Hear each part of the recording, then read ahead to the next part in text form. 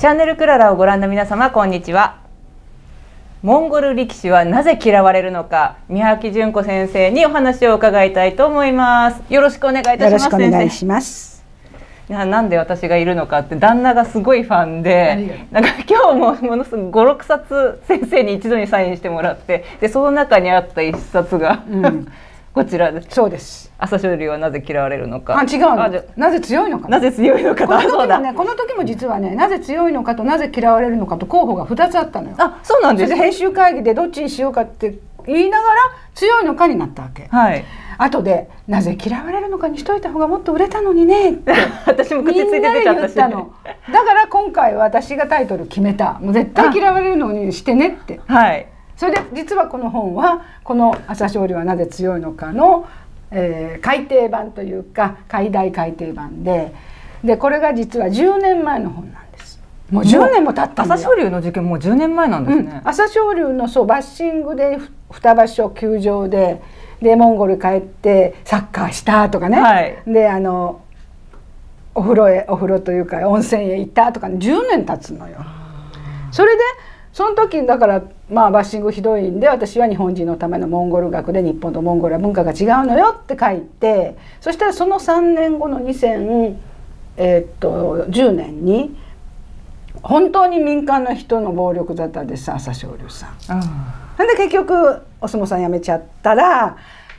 本屋があっくだけど全部引き取って私の知らないうちにあれ全部なくなりましたえー、言ってくれたら買い上げたのに50や100とか言ってもう消えてしまって大学の授業で使ってたのにない。それから今今最近もあのとにかく題名はともかく私にとってはもう一番日本人が分かりやすいようにモンゴルの話をいっぱい書いてるのでね、うん、で頼まれてモンゴルについて何読めばいいですかってあれ分かりやすいんだけどねって言ってアマゾンで調べたら1万円とか2万円とか。うんもうそんな時代。そうだったんです。みんなそう言ってましたから、あの買おうと思ったけど高かったって。言って倉山先生もこれ持ってらっしゃる。あ古い版の方。開始2分間ほったらかしてどうしようかと思ごめんなさい。それ置いてけば主催者なのにすいません。すいません。一生懸命あの顔でやってましたが打倒尾崎一人で。こうやってねあそれだからあのタイトル決めの時に私国士舘の非常勤講師室で相談されてた中であそうなんですか。私は絶対嫌われるの方がいいですよ、うん、やっぱり、まあ今嫌われるかにしてね、うん、ね。だってモンゴル力士より貴乃花の方が嫌われてるじゃないですか今。確かにね。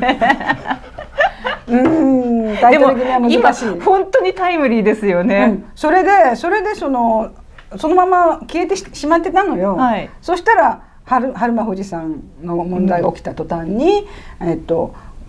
あれいけるよって、うん、それで1週間2週間もう10日くらいで、はい、ああ直して直して直してその要するにあんまり古いところ、うん、からモンゴルの人口その新しいあのチェックをして、はい、で春春馬富士の問題を前の方に入れて、うん、であっという間に出ちゃいました。うん、いや読みましたよ。春馬富士いい人ですね。そうなのよ。かわいそう。はいあのあの宮内先生あのさっきから秋吉の方しか向いてなくて、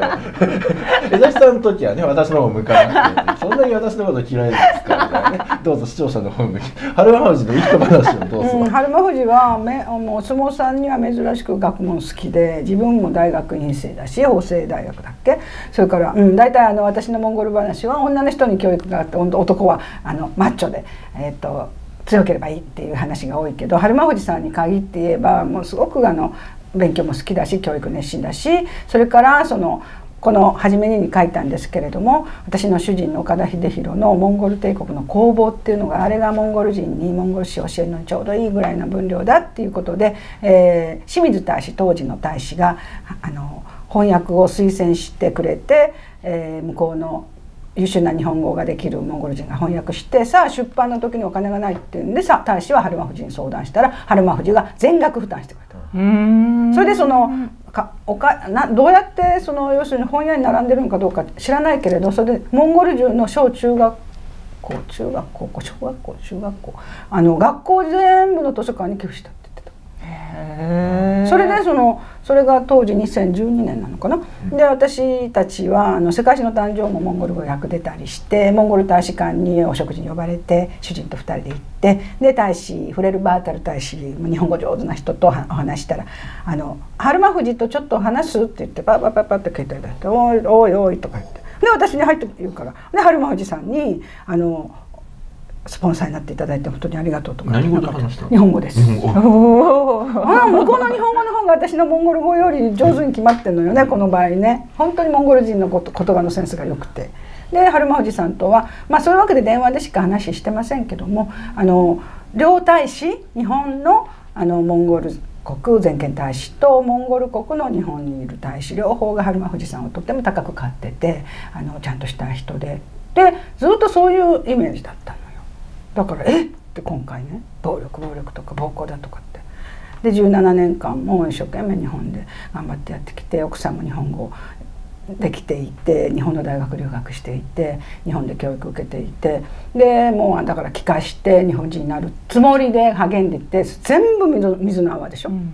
17年分。たった1回殴ったって殴ったって言ったってさんであの最近そういう話を、えー、モンゴル人やら日本のモンゴル学者やるとして「ああウランバードルなんかさ喧嘩したらビール瓶で当たり前だよね」とかって言うんだよねみんなね。でまあまあねいいとは言わないよ暴行が。けれどもそのどうも日本のさ相撲協会とかさ何十人も並んでなんかこう肩肩通り粛々とってやってるのを見るともうすごく違和感があるで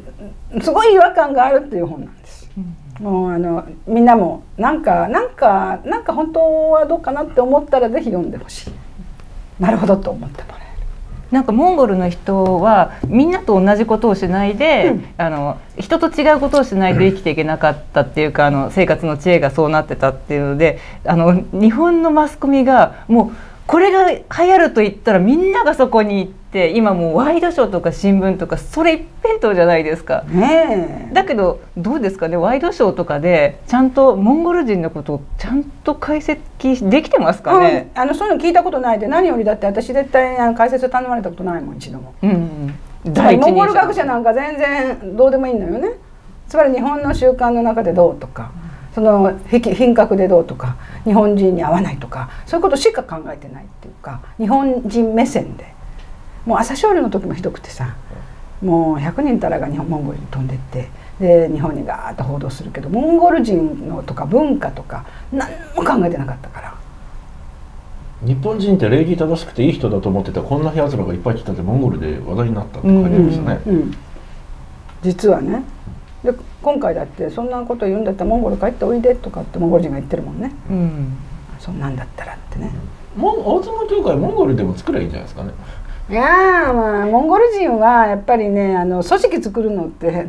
上手じゃない。それが意外でチンギス・ハンの国のイメージがあるんで個人主義の国民族って聞いてびっくりしちゃった。うん。あのねだからそれは両持ちで得になったらパッと急合して判断が早くてすぐに動いてそれでダメだったらパッと散るとですっごい判断力早いのよ。あの会議やってても「あそうだねそうだね」って言うとパッと決めるのね。でも失敗したったらやめるのよ。そういうのは今でもやってて今でも大会議って国会の会議であっさり決めるのね。そんな早く決めていいのかなと思って。それで案の定あれうまくいかなかったからあれやめたとかね。あそういう人たち。だから今回も相撲で日本モンゴル互助会とかね言うけどもともとのモンゴルの文化にはない。だなぜならさっきのお話はその遊牧生活していると、えー、雨が少ないから草がまばらにしかなくってでみんなが同じところにいるともう明日には草がなくなる。動物が食べちゃう。だからなるべくみんなバラバラな場所に散って生活するというのが習慣で。で人がしたことは絶対しない。人の行ったところへ行ったらもう草がないの。はっきりしてるから。だから人が行ってないところのいいところを探すっていう。もうこれが習い性なので、みんなでつるむってすごい日本的なのね。で今回モンゴル力士がみんなでつるんだってそれやっぱり十何歳から日本文化を勉強してで日本人のようにやれと言われてで相撲協会のこととか相撲のことを真面目にやった人たちがこうなったって感じが私はするのよ。だからそう日本社会に対抗するためモンゴル互助会っていうか日本文化としてそのこうでなくちゃいけない、ああでなくちゃいけないっていうのがその行き過ぎた。だから春馬富士が一番真面目だったかもしれないわけ。日本式になるのなるほど。思いっきり日本式ですもんね、モンゴル互助会なんて。うん、っていうのもなんかあのもちろん門外漢だからこれは全くの想像だけれどもそういうふうに私には見える。なんか徴用の女がないっていう、うん、それはね徴用の女っていうのはとっさに言ったんだけどあのこれモンゴル学者から文句出たのよ前も、朝青龍問題の時ね、うん、なぜならねおじいさん大事にしますよってそうそう。お兄さんも大事にしますよって年上の人に対して失礼じゃないですよって言うのね。でそれは本当なの。でも本来の徴用の女っていうシナ文明の言葉は祖先からの気の流れが強い方が偉くてちょっとでも一日でも後に生まれた人はそれより下と。かそういうきちんとした文明でで日本に入った先輩後輩とは全然その質が違うっていう。だからモンゴル人はもともとが長男だから家を継ぐ気はないしあのモンゴルに残った系図もあの私の研究している中央アジアの系図って言ったらお父さんが丸の中に書いてあると放射線に子供たちが書いてあるのね。でまた放射線に書いてあるのね子供であることしか分かんなくてどっちが上で下か分かんないじゃないですか。すごい系図を見つけたの私、うん、17世紀頃の。もう韓国人がカンカンになって怒ってねそれ研究発表したらこういうのはケズとは呼ば 呼ばないんだよ。こんなのはケズじゃないって言うんだけどそのそういうあの年上か年下かじゃなくて、えー、ふさわしいかふさわしくないかとか実力があるかないかであの話の最後決めるとこあるからだからその朝青龍の時も横綱の方が先輩である極集山よりも地位が高いんだからやっぱりそっちが優先でしょっていうね、うん、スポーツってみんなそうじゃないですか。うん、でそう思うのね。それで今回のもう相撲協会見てたら。だから本当言うとね貴乃花の気持ちはあれモンゴル人に近そうな気がするんだけどね。うん、全然あの実力のない人が偉い地位についててって怒ってるわけでしょ、はい、まあ、言ってみればね。で合議制でなんかさ責任のななんか責任取らないで決めるでしょ、うん、あれは全然モンゴル的じゃない。なんかこの中にも書いてありましたよね。あの実力がない人をあ実力がある若い人を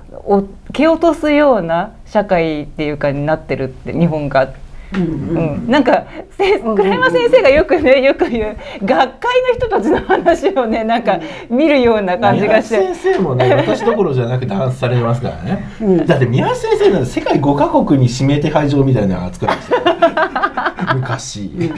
だからそのいいところと悪いところとあるわけですよ。それぞれの文明とか文化にはね。その秩序が保たれた方が安定していて喧嘩が少ないとか。でもなんかあの非常事態の時にあんなこと言ってられないっていうね。本当に実力のある人に任せなかったらみんながそれこそ明日分からなくなるっていう。でモンゴルは厳しい社会だったからそもそも大昔からその本当に実力のある人に全部やってもらってっていう癖がついてるんですよ。頭がいいとか力があるとかそういうことを重んじる重要視する。だからその人たちがだからこそ個人技である相撲が強い。頑張る一人で頑張る。であの、えっと、チームプレーはねあんまり強くないんですよ。だからレスリングとか相撲とかこういうのはモンゴル人は強いけど弓とかあの野球強いって聞いたこともないし、うん、そういうのはやっぱ増えてな譲り合うっていうのが増えてなでその人たちが日本の相撲協会という、うん、もう超クラシックな場所で、まあ苦労してさやってるんだろうなって。思いますよだってご助会でもモンゴル語でみんなでおしゃべりしたいことだってあるでしょうが日本、うん、日本人だってさ日本人会作るし大体みんな言うてる。東京にだって県人会があるでしょう。ね、それをね否定してしまってね日本の相撲取りになったんだから日本人のようになれとか日本人になれとかモンゴル人と付き合うなっていうのもひどいね。うん。なんか変でしょ、うん、本当ですよね、うん、でまああの最後白鵬の話だと白鵬は朝青龍の時問題の時はすっごくいいもう日本的でもこうも模範的だって言われたわけ。で今になったら同じようにバッシングされてるのはそのあの傲慢だとかノーズだとかやりたい方ででもね40回優勝した相撲取りないのよ今まで。だから彼はねそりゃもうあの責任のあるというか誰よりも偉くなったんだもの。だからこの人を何だろう精神的に説得してそうだよねって思わせるような立派な日本人が一人もいなかった方が問題。つまり白鵬が納得できるようなことを誰もしてくれなかった言わなかったんじゃないかなっていう。それなのにその文句だけ言うっていうのなんかそういうことが嫌だなって思うんで私はそういうふうに日本文化の批判してるんで、まあ、まず呼ばれないですよね。うんうん。ね、だからこれ前もそうだったし今回ももうマスコミ中もうとにかく自分たちでなんか決めた路線の話ばっかりしていて、うん、もう相撲問題ばっかり報道してるけどあの同じようなことばっかり言っててなん本質が全然わかんない。なんか有効心の人たちにこそこれ読んでもらいたいですよね。読むわけない。読むわけないんだけど。でもモンゴル人の気質とかよくわかると思うんですよね、うん、これ読むと、ね、はい、そうでしょ？だからそれを踏まえて裁定を下したとか、うん、なんか向こうの文化も知った上でっていうのもね取り入れてほしいですよね。ねねはい、あの大相撲協会だけじゃなくてねあの字が読めない人があの日本社会で偉くなってるからこうなってるんだと思うんですよ。誰のことですいやいろんな業界にいるマスコミとかねこういう真面目な本を読めない人が、うん、ね、あの知ったかぶりで自分よりアホばっかりねあの出世させるみたいな。うん自分より優秀なのが出てきたら若いやつはねあの出る杭は叩けって、ね、なるわけですよね。でもこれ読むと一番ねモンゴル人が何かっていうのがよくわかるじゃないですか。うんだからねもしお母さんたちが モンゴル力士のね、うん、話題とかをワイドショーで。お母さんの方に読んでもらいたい、ね、そうですよね。あの、うん、そのワイドショーの話題がすごい気になる人はこれを読むと一番理解できると思うんですよね。うん、ね。美容院で読める本、ね、そうです。ね。そうですね。あの私の本の中ではね柔らかい本なので、どちらかというと柔らかく、うん、あのわかりやすく書いてあります、はい、よろしくお願いします。ワックさんからですね。えーと、モンゴル力士はなぜ嫌われるのかよろしくお願いいたします。先生どうもありがとうございました。